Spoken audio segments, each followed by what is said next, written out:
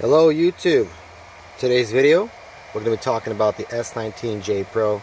We sent out these boards for repair, just got them back, so these are the repaired ones. Talking about the details of the whole process. So if you think that's interesting, hit like, subscribe, hit the bell, go to cryptollc.org.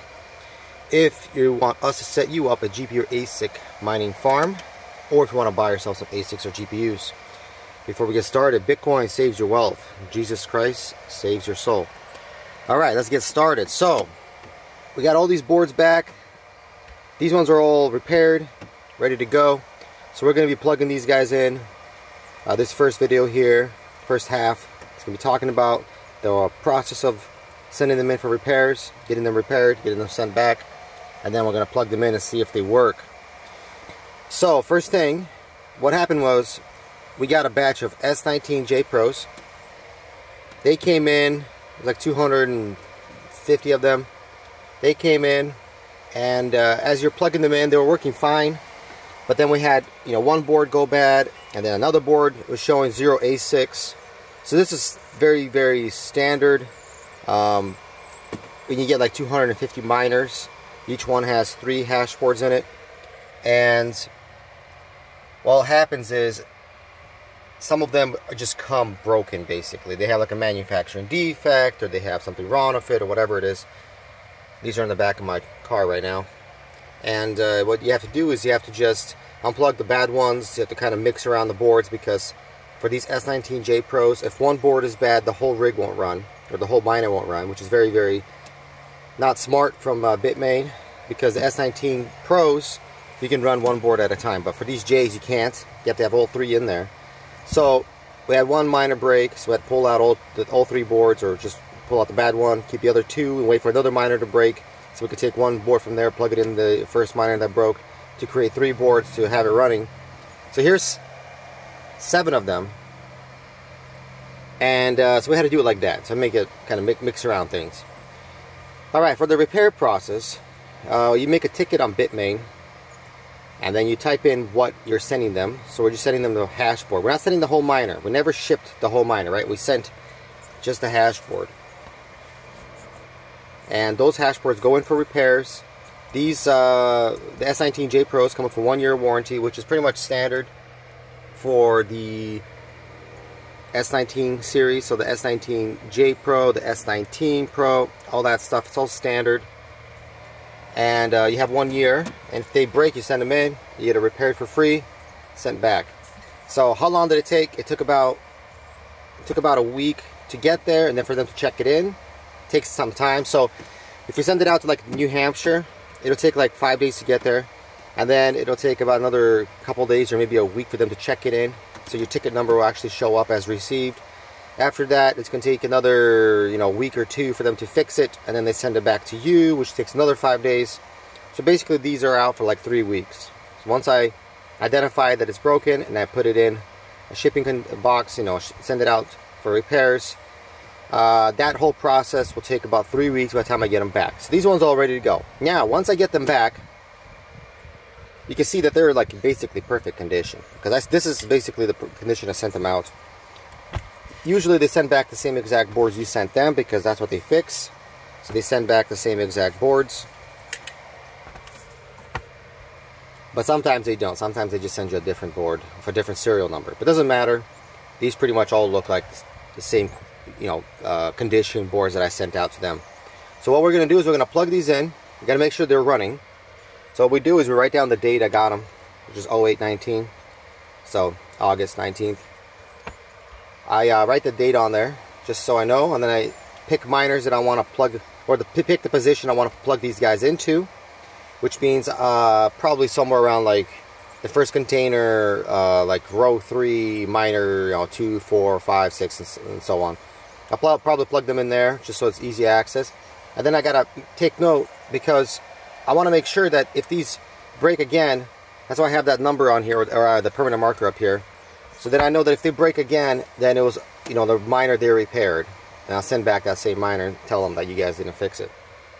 Um, and it makes a bigger deal, obviously. Right now, it doesn't really matter because you still have that one-year warranty. So if they break again, just send it off. But if they were out of warranty, right, then you have a 14 day repair warranty. So once you get them, you have 14 days to send it back. Right now, it doesn't matter. You still have that one year, still active. But in the future, you have that 14 day. That's why I have to immediately plug them in and run them for like five days to make sure they're working fine. And then your warranty, basically the 14 day warranty, be coming up to a close because the warranty starts when they ship it out, not when you get it, which is also very stupid from Bitmain. But that's what Bitmain does. Their 14 day warranty for repaired boards start when they ship it, not when you get it. So if it's going five days, being shipped out, too bad for you, right? That's uh, very not nice from Bitmain. But anyway, it doesn't matter to, for us. We have that one year warranty. All right, so what we're going to do now is we're going to take these same boards. I'm going to plug them in into uh, some empty miners. Right now we have a couple of empty S19J Pro miners sitting there with no boards. Obviously these ones are been taken out and shipped for repairs. So we're going to plug these back in. Since we have seven boards, which means we're going to plug in, we're going to create two miners. Then we have um, an extra board. So we're going to unplug a working board from a third miner, plug in this repair board just to make sure that it's working. All right, let's do that now. All right, we got those three hash boards in there. One, two, three. All plugged in. Everything's ready to go.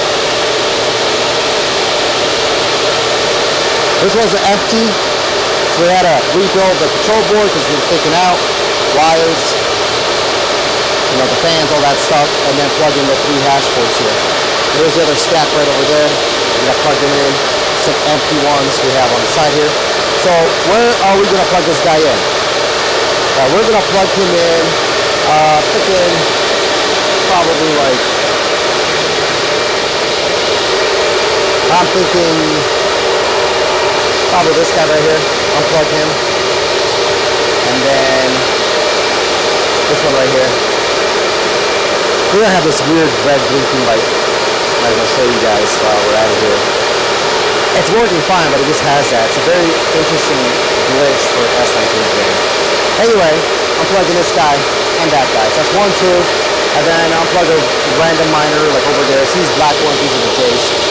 So I'll one of those and then take out a hash board and plug in our uh, seventh hash board. Alright, so let's do that and I'll show you guys the results. Alright, we got the miner here running. You can see 5126 found all the ASIC chips on K0, which is hash board 0. And then hash board 2, 3, basically 1, 2, 3, all 126, 126, 126. Everything was found. Now we scroll down here, make sure everything else is loaded. The EEPROM is loading. Fixed frequency, 525. Everything is working good. Then it starts initializing everything over here. You can see that it started to set uh, chain frequency. Our target is 525, so this is automated Bitmain firmware here working to set the frequency of chain 0, 2, 3, which is hash board 1, 2, 3. It's setting the frequency. It keeps setting it, setting it, setting it, setting it, setting it until it gets to 525.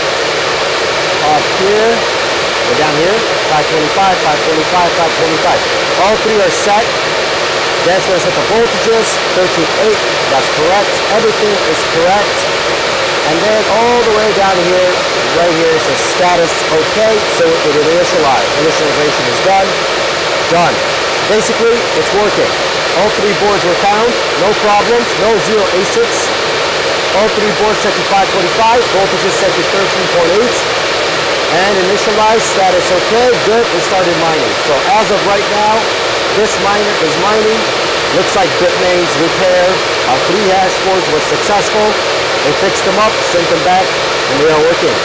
So that's going to be it for this video. I hope you guys like it. Hit like, subscribe, hit the bell. Go to LLC.org. If you're looking to, for us to set you up a GPU ASIC mining card, if you want to buy yourself some ASICs or GPUs, that's going to be it for this one. Until next time, bye.